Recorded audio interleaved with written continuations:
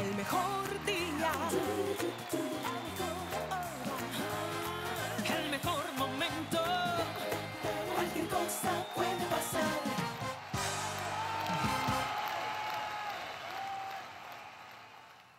Son las 11 y 46 minutos y ya está en el estudio. Una de esas secciones más esperadas por todos ustedes es el segmento de los chismes, de compartir información con todos ustedes. A mí particularmente me encanta. En esta oportunidad está José Gregorio García, que viene cargado, cargado de buena información. Por favor, no te guardes.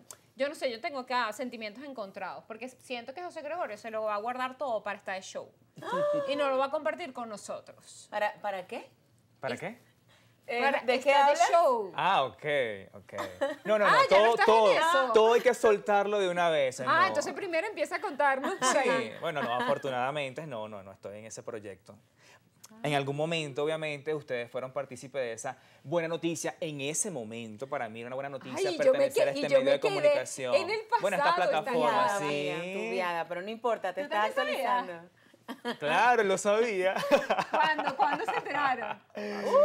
Como Long, mes, long time cosa ago, dirían un gringo. Ajá, cuéntanos, José Tú- Gregorio. Estabas tú, bebé, ¿no? Bueno, estoy segura que los televidentes no lo saben. Bueno, no, este, obviamente se rompieron relaciones laborales y quizás personales también, obviamente, con, con este personaje. Pero ahorita te encuentras en un otro mejor momento, ¿no? Por En la supuesto, televisión. por supuesto, porque ya eso me detuvo por durante dos meses, porque bastante tiempo que eh, eh, aporté a este proyecto. Pero si yo Eh, te vi reunido varias Sí, veces. claro, claro. Nos encontramos una vez, eh, justamente estábamos reuniéndonos para, para lo que venía, esa nueva etapa de esta Me plataforma. estoy desayunando Sí. a las 11 y 47 Ajá, de la noche. Así es. No, pero, casi pero es buenísimo. Un desayuno casi Es buenísimo brunch. porque no se había aclarado. No se había aclarado y mucha gente, mucha gente decía, pero José Gregorio continúa con esta marca. Este, no, no, ya no continúo con esta marca y eso fue mucho antes de, de la polémica que hubo con, el actor eh, de cine para adultos. Muchísimo antes. Lo que pasa es que me lo tenía calladito y este, porque bueno, eh, teníamos todavía una cierta relación, esta persona y yo, porque éramos compañeros de trabajo. Pero bueno, al ya al salir de allí, bueno, ya sí, ya eh, puedo decirlo, no pertenezco a esta marca de farándula. eh, José Gregorio no está con esta de show. no, no estoy con esta de hecho hace muchísimo tiempo. Eh, pasaron ciertas cosas que me las reservo, ya no viene ni al caso. Lo que sí es buena noticia es que vengo con mi propio medio de comunicación. Este, de hecho, eh, una de las personas que se enteró primero de este medio, del medio de comunicación, del nuevo medio de comunicación, fue Carmela Longo. Porque la llamé y le dije, ¿quieres redactar para mí? Estuvimos negociando y bueno, por ahí estamos, por ahí casi que Qué bueno, ¿lo lanzan ahorita en diciembre o para el año que viene? Estamos, estamos ahorita en el proceso de buscar redactores y communities. ¿Es una revista? Es una revista, un portal web, que de hecho te lo puedo mostrar, este, y tiene tus plataformas, canal de YouTube y va a tener un programa de televisión. Wow, bien, ambicioso ese bien. Es proyecto. ambicioso, ¿Y- no y- todavía. ¿Y tú todavía- serás el ancla del programa? Seré uno de los anclas. Seré uno de los anclas porque vamos a hacer de cuatro a cinco personas. Ay, qué bueno. Felicidades. Gracias, gracias. Y bueno, Espero estar en la portada de esa revista. Ah, claro que sí, claro que sí. claro que sí, claro que sí. Las buenas, las buenas nuevas siempre, siempre son propicias. Mira, José Gregorio. Eh, bueno, ahora bien, vamos a comenzar con la información que vas a compartir con nosotros. Bueno, mira, ahí hay bastante información importante, más que un chisme, es una información que, por lo menos a mí, que soy venezolano y que apoya el talento venezolano, me, me causa bastante eh, emoción y alegría. Claudio El- de la Torre. Claudio de la Torre. Es un talento que, si bien es cierto, eh, ha dejado el, el nombre de Venezuela bien en alto. Hace un tiempo yo vine y dije, mira, hay una primicia por allí, él está en un nuevo proyecto, puede ser que sea para este proyecto de, de cine, para una plataforma mundial, pero bueno, sí. Ya se puede decir, señores, Claudio de la Torre va a ser uno de los protagonistas de la segunda temporada de Perfil Falso. ¿Qué tal? Ay, qué bueno, me encanta. Buenísimo porque creo que la está rompiendo y quiero hacer un inciso en este momento, Yoli. Muchos, muchos, muchos medios de comunicación y bueno, bastante gente del medio artístico en su momento eh, no creyó en Claudio de la Torre como actor, sí como imagen comercial, como modelo, porque bastante él se destacó en, en vallas publicitarias, en otras marcas eh, comerciales, ¿no? Pero como actor muchos no, no lo apostaron y creo que, bueno, Lo que pasa es que siento que eh, él se preparó, mejoró Ah, y- exactamente. y, y- y Ese es ahora el da la talla. Ahora sí está dando ¿No? la talla, no solamente Claro. en Estados Unidos, en, eh, eh, en- en España, sino también en Colombia. Porque ahora sumado a eso, no solamente de la segunda temporada de Perfil Falso, se une un nuevo proyecto a él para un reality show súper famoso allá en, en Colombia, en la, en la cadena de televisión RCN. imagínense. Enhorabuena. Enhorabuena porque... Nos contentamos mucho por Claudio. Sí, vale, además él es... eh, ya, yo hice varias piezas teatrales con él y de verdad es un compañero a número uno. No, verdad. no, no, excelente profesional. Yo me acuerdo que también en mis momentos de, de cuando estudiaba actuación en Luz Columba, él también era eh, este, eh, alumno de Luz Columba y tremendo, tremenda persona, tremendo chamo. Y de verdad que él cumple con esos prototipos de actores internacionales. Es tremendo galán, sí, tiene, Tiene tiene estampa, todo, tiene estampa. Sí, me, me- me gustaría verlo, Orlando, en quizás en una producción estadounidense, ¿ve? O sea, Podría con ser. el inglés, ¿sabes? Para ver qué tal y, y, bueno, si se proyecta por, esas, por esos lados. me Pero gustaría. fíjate que yo creo que lo que habla muy bien de él es precisamente ese crecimiento profesional que ha tenido, porque es verdad que al principio tenía algunas deficiencias, pero las ha ido puliendo, se preocupó. Además recuerdo en algunas conversaciones con él que era alguien interesado en, en crecer, en escuchar las críticas, Así es. y eso por supuesto que al final nutre y permite el avance, ¿no? Entonces, ojalá que se concreten grandísimos proyectos para él. Así es. Y en Miami. No, en y, Ma- y además yo siento, y siempre lo he dicho aquí en este programa una y otra vez, que, que la distancia eh, entre, entre la mediocridad y el éxito es simplemente la capacitación. Así es, así es. Creo que el Eh, secreto es ese, prepararse. Ajá, ¿qué otra información tienes por allí? No, bueno, este, tengo una información, por aquí tengo aquí mi sala de redacción. Ay, este, me encanta tu sala de redacción como la de Jolie. De Fernando Carrillo. Fernando, sabes que bueno, hace un tiempo estuvimos hablando de él y incluso él vino al programa, dijo que venía con una nueva propuesta para la industria de la televisión, cinematográfica, musical. Bueno, ya más o menos eh, se sabe, él estaba callado porque estaba en reuniones importantes con eh, altos ejecutivos de- del gobierno venezolano y bueno, uno de ellos, me, él me lo autorizó, él me lo autorizó, puedes decirlo José Gregorio, eh, Alex A, y por acá lo tengo, eh, Samir Alatrache, quien fue embajador de Venezuela durante siete años, sí, en los Emiratos Árabes, y bueno, lo están apoyando muchísimo porque él quiere convertir al Nueva Esparta eh, en la nueva sede de la industria de la, de la- de la- de la- de Entonces, bueno, está apostando para eso y viene, viene con sus series, viene con una serie de ocho capítulos. eh, todavía no tienen nombre, eh, pero están ahí como que en ese ¿Pero la proceso. serie es para, para un canal local o para transmitirse en alguna plataforma internacional? Mira, yo creo que viene para, para, una, para la plataforma internacional, pero también darle la oportunidad de que el público venezolano lo pueda disfrutar a través quizás de la, de la señal abierta.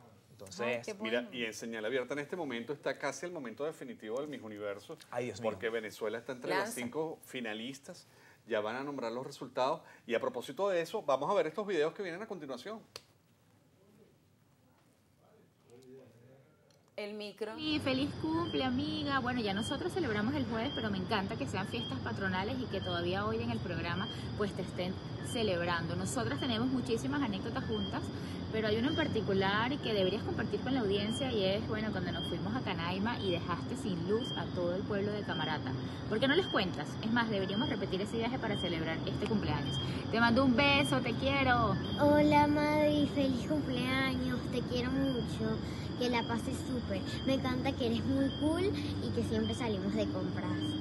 Feliz cumpleaños, Meli, que la pases rico. Bueno, ya la pasaste, yo sé, lamentablemente no pude estar contigo en esta oportunidad, pero han sido ya muchos años juntas eh, y los que vienen, los que vienen, porque yo sé que esta amistad es eh, larga y verdadera. Cuentos de tu cumpleaños ni hablar. Yo me acuerdo que hubo una oportunidad que estábamos en la playa y Melisa no salía, todo el mundo ya vestido en perifollado para celebrar, para picar la torta. Y pasaban horas y no salía porque ella se estaba secando el pelo en la playa. Esa es Melisa. Amiga, te quiero, miles de bendiciones y bueno, nos toca celebrar, no importa, post cumpleaños, eh, juntas, porque bueno, sabes que estaba cumpliendo compromisos con el teatro. Yo aprovecho, amiga, aprovecho que estoy aquí en sábado en la noche, los hombros de América y los bonobos en el trasnocho. Por ahí los espero. ¡Feliz cumpleaños! ¡Te quiero! Hola mi gente de sábado en la noche, desde aquí, desde Ciudad de México, rumbo a Miss Universo. A ver qué va a pasar hoy. Por igual, pendiente de ustedes en Venezuela. Un beso grande para mi querida Melissa Rauseu. Pasa un maravilloso cumpleaños. Espero que haya sido increíble y que hoy te celebre en el estudio como lo mereces, con tanto cariño y con tanto amor. Los quiero. Feliz cumpleaños, mi Meli, te quiero mucho.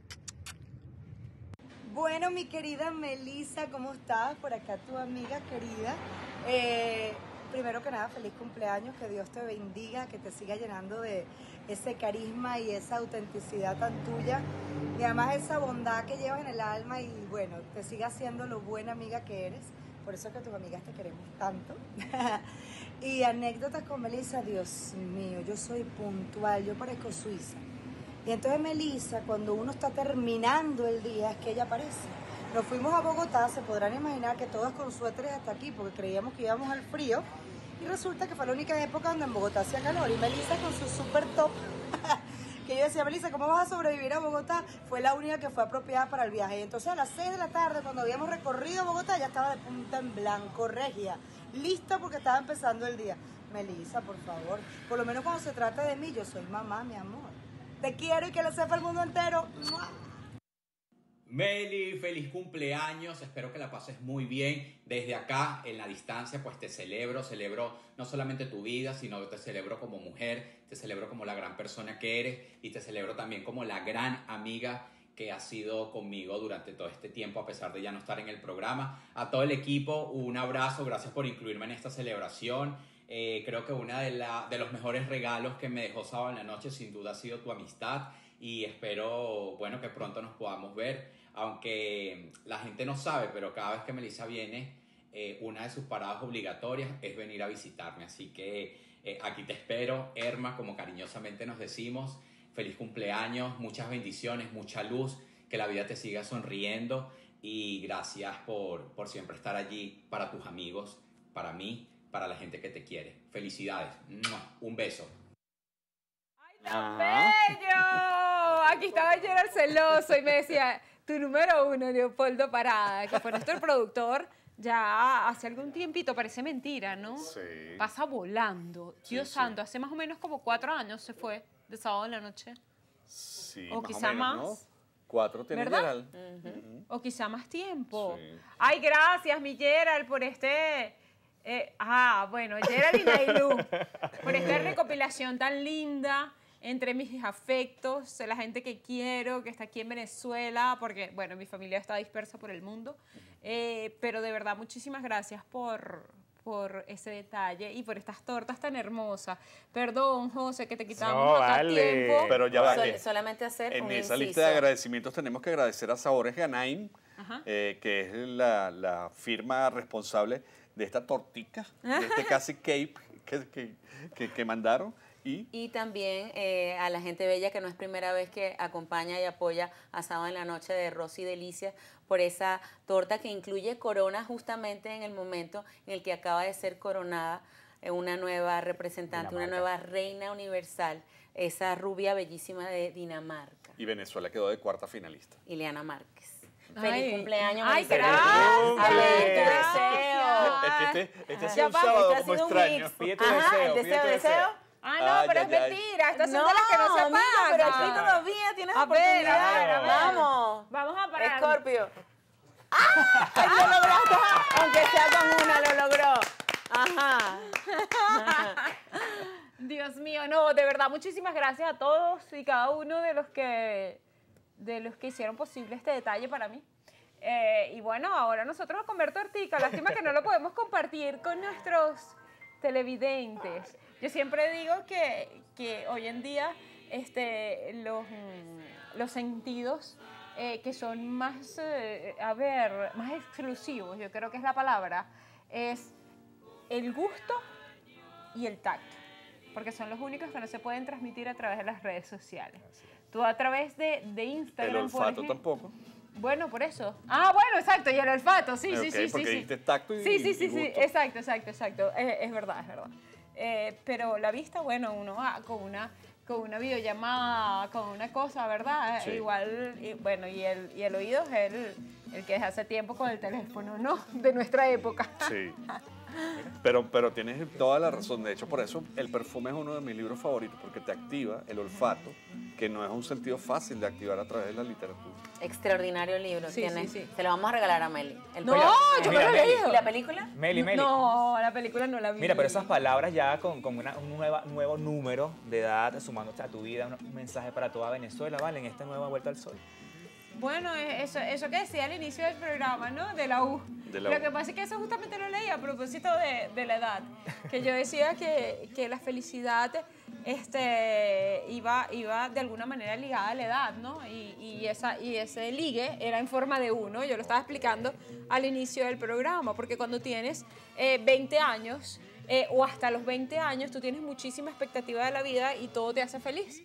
Eh, después entre los 20 y los eh, 50 más o menos, eh, empieza un declive de esa felicidad, ¿no? En- entre 40 y 50 es la peor época porque tienes el, como el síndrome ese que le da a los hombres que se empiezan a, a buscar... Ay, eh, la crisis de la mediana edad. Muchas. Sí, sí, pero que se empiezan a buscar mujeres más jóvenes, el, el carro deportivo. El carro tú del año, sí, señor. Ese tipo de cositas, ¿no? Eh, eh, quiero ir al gimnasio, me quiero ver más papiado, etcétera, ¿no? Eso es entre los 40 y los 50. Gracias a Dios, ya tú lo pasaste. y después comienza otra vez a subir porque este, las expectativas son mucho menores y todo te da felicidad. Sí, lo que pasa es que la década de los 40 la ventaja que tiene es que primero tú tienes una gran madurez ya personal, porque has corrido parte de la vida. Y además también estás en un momento en que poco te puede influir lo que los demás opinen o digan Una de gran ti. seguridad, una, O sea, una confianza seguridad que quizás cuando atravesamos los 20 o los 30 no tenemos. Claro, y además de eso, bueno, los achaques pueden ser que comiencen algunos, pero físicamente todavía estás muy bien. Después de los 50 ¡Eso! ya está. Y si usted quiere agregar más, Ningún achaque, Orlando. Mañana no voy achaque. al Ávila. Mañana voy No, Ávila. él lo que quiso decir es que No, a invitar a, a los seguidores de Sábado en la Noche bien. a que en Instagram le digan bien. a la cumpleañera lo bien que se ve estrenando esta nueva primavera de tu vida. Así como la bautiza yo, la flor araguanera. Ay, ¿qué tal? Bueno, y ahora que conozco esa noticia sobre tu vida laboral, me caes mucho mejor. ¿Qué tal? Que a mí ni te digas, ¿ok? José Gregorio García estuvo con nosotros el sábado de la noche. Tenemos que despedir el programa por el día de hoy porque si no, la torta se nos enfría. Mira, pero esta vela sí es dura. ¿Viste? Y dura, Tenemos y que ir a dura. comer torta porque se nos enfría, Orlando. No, y Master nos va a volar también. o sea. Qué lindo. Gracias por acompañarnos hasta el final. Fue un programa maravilloso. Nos encontramos el próximo sábado. Chao.